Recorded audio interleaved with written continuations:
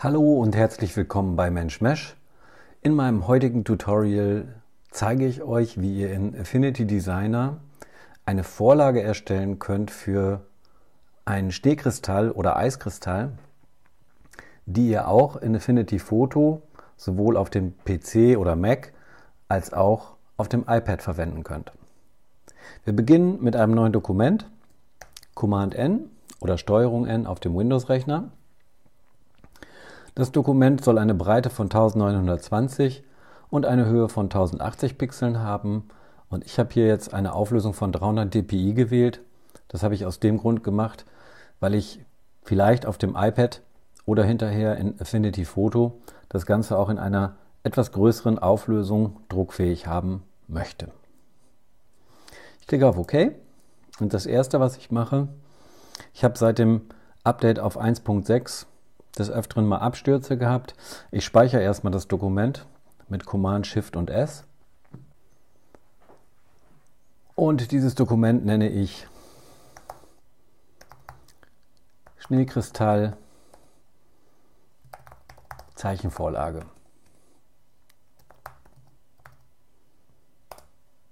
Durch zweimaliges Drücken der Taste M wähle ich das Ellipsenwerkzeug aus und dann habe ich hier oben die magnetische Ausrichtung eingeschaltet und hier auch die Pixel-Ausrichtung. Ich gehe in die Dokumentenmitte und von hier aus zeichne ich jetzt mit gedrückter Command- und Shift-Taste einen Kreis von 1000 Pixeln Durchmesser. Daraus mache ich jetzt hier mit Convert to Pi, den wandle ich um in ein Kuchenstück, wo ich den Startwinkel auf 60 Grad einstelle, hier oben, und den Endwinkel auf 90 Grad, sodass ich insgesamt ein Stück von 30 Grad habe. Von diesem Stück erzeuge ich jetzt ein Symbol. Dazu wechsle ich hier auf das Symbolpanel, klicke hier auf Erstellen und jetzt habe ich hier ein Symbol. Ich gehe zurück in das Ebenenpanel habe jetzt hier einmal dieses Objekt, das dupliziere ich jetzt mit dem Tastenkürzel Command J oder Steuerung J auf dem Windows-Rechner. Dieses Objekt spiegel ich jetzt horizontal, wähle mein Verschieben-Werkzeug mit V aus und schiebe das hier rüber. Dann drücke ich die Command-Taste und wähle hier das erste Symbol aus. Gruppiere jetzt beide und erzeuge daraus wieder ein Symbol, indem ich hier auf Erstellen klicke. Das ist mein Grundgerüst und davon erstelle ich mir jetzt entsprechend sechs Stücke. Das mache ich jetzt wieder mit Command J oder Steuerung J. Und jetzt muss ich das Ganze einmal mit gedrückter Shift-Taste um 60 Grad rotieren. So. Und das wiederhole ich jetzt mit Command J. Command J, J, J, J und schon ist mein Grundgerüst fertig. Die ersten fünf Elemente hier oder die oberen in meiner Ebenenpalette, die markiere ich jetzt mit gedrückter Shift-Taste. Shift heißt ja mal von bis und wichtig ist, dass ihr auf das Wort klickt.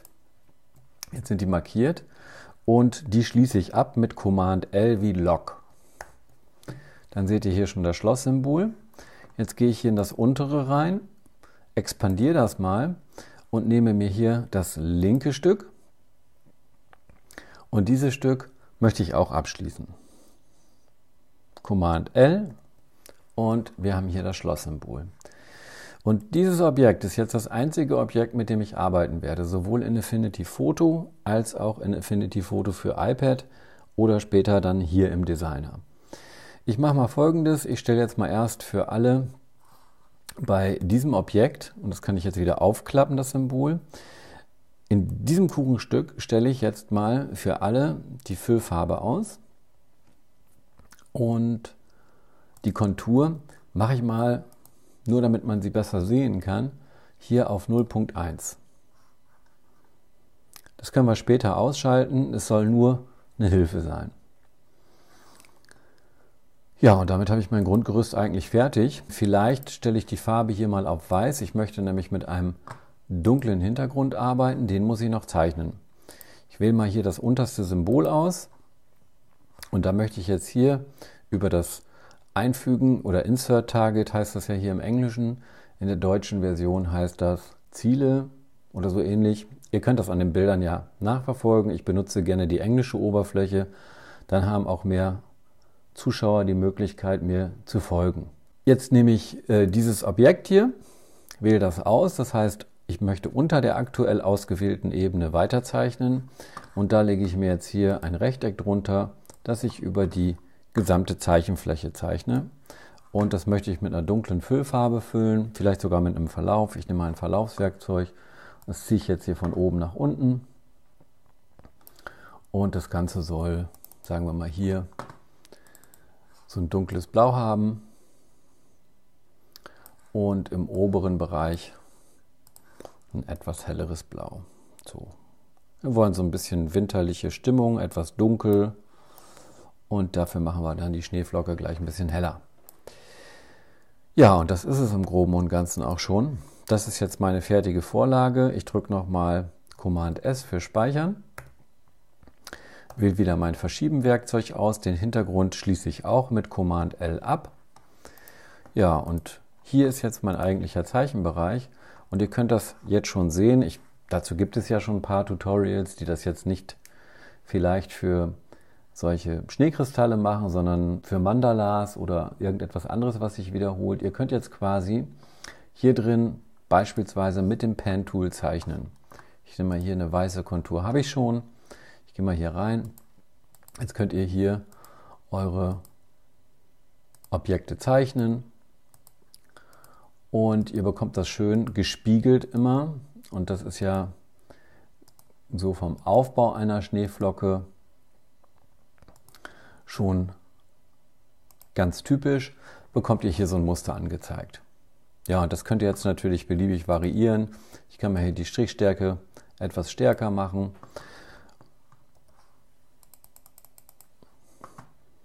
Gehe mal mit dem Knotenwerkzeug hier wieder rein, zieht das mal hier bis zur Mitte, Ihr könnt hier natürlich auch ganz normal alle Fahrtoptionen anwenden, die ihr aus Affinity Designer kennt und erhaltet so interessante Muster, genau wie das eben bei Schneekristallen auch ist, die ja nicht unbedingt jetzt immer identisch aussehen, sondern ganz interessante Formen annehmen, annehmen können. Ja, und so könnt ihr ganz individuell eure Weihnachtssterne erstellen oder Schneekristalle erstellen und eurer Kreativität freien Lauf lassen. Ich werde jetzt gleich im Anschluss nochmal zeigen, wie man jetzt damit zum Beispiel in Affinity Photo oder in Affinity Photo fürs iPad zeichnen kann. Ich habe dazu diese Vorlage auf meinem Webserver abgelegt. Die könnt ihr euch auch downloaden. Den Link findet ihr in der Videobeschreibung. Und ich zeige euch jetzt gleich nochmal, wie ihr dann diese Affinity Designer Datei in Affinity Photo für iPad öffnen könnt. Für die Desktop-Version gilt das Ganze ganz genauso. Ich hoffe, ihr habt eine Idee bekommen, wie man das erstellen kann. Wichtig ist, dass ihr bei den Symbolen immer darauf achtet, dass ihr hier innerhalb des Symbols arbeitet. Ähm, ich selber arbeite am liebsten auch noch in diesem Tortenstück, also indem ich quasi mein Element, das ich zeichne, hier direkt reinzeichne. Ihr könnt jetzt natürlich, braucht ihr die Hilfslinie nicht mehr, hier die Hilfslinie, die Kontur wieder ausschalten und dann erzeugt ihr so eure entsprechenden Muster. Ich möchte euch jetzt noch einmal zeigen, wie ihr auf dem iPad aus eurem iCloud-Speicher oder einem anderen Speicher, ich zeige es jetzt hier für die iCloud, die Vorlage aus Affinity Designer öffnen könnt. Ich habe hier bei mir schon mal den entsprechenden Ordner geöffnet. Öffne jetzt einfach das Dokument und hier ist jetzt erstmal interessant das Ebenenpanel. Das öffne ich mal und ihr seht ja hier sehr schön die Schlosssymbole. Das unterste Objekt hat kein Symbol und hier drin befindet sich jetzt das Symbol meiner Begierde, meine Kurve. Ich nehme mal das Verschieben-Werkzeug und jetzt könnt ihr hier sehr schön sehen, ja, die Symbole aus Affinity Designer funktionieren auch in Affinity Photo auf dem iPad. Jetzt sind hier natürlich eurer Kreativität keine Grenzen gesetzt. Ihr könnt hier die Knoten zum Beispiel mit dem Knotenwerkzeug beliebig bearbeiten. Ihr könnt ganz neue Kurven erstellen oder Formen erstellen. Ich möchte jetzt hier einen Kreis einfügen und dazu nehme ich hier das Kreiswerkzeug und zeichne mal hier einen Kreis. Und wenn ihr bei Kreisen den Finger auf das iPad haltet, dann sind die immer kreisrund. Also die Ellipsen haben dann gleich lange Halbachsen. Ja, und den könnt ihr dann zum Beispiel hier über den Farbauswähler auch noch mit Farbe füllen. Das ist jetzt einmal die Kontur. Wenn ihr die Kontur ausschalten wollt, könnt ihr hier unten über die Swatches gehen und hier die Kontur ganz ausschalten. Dann könnt ihr hier oben einmal wechseln und sagen, ich möchte die Füllfarbe in Rot haben. Und wie man sieht, werden die dann eben auch in jedes andere Symbol in diesem Dokument übertragen. Ihr könnt noch was anderes machen, was ganz interessant auf dem iPad sein könnte. Das geht natürlich auch in Affinity Designer.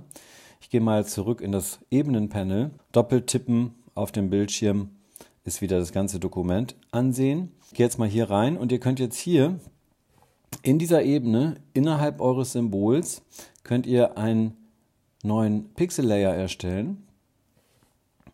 Habt jetzt hier quasi euren Pixel Layer und hier könnt ihr jetzt natürlich auch mit euren Pinselwerkzeugen zum Beispiel arbeiten.